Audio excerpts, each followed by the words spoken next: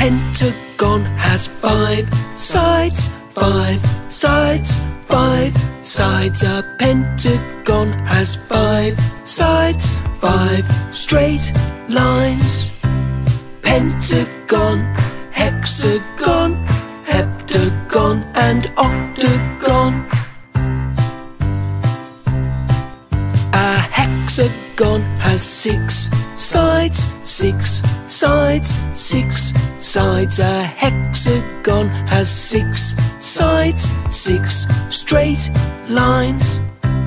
Pentagon, hexagon, heptagon, and octagon. A heptagon has seven sides, seven sides, seven sides. A heptagon has seven sides, seven straight lines. Pentagon, hexagon, heptagon, and octagon.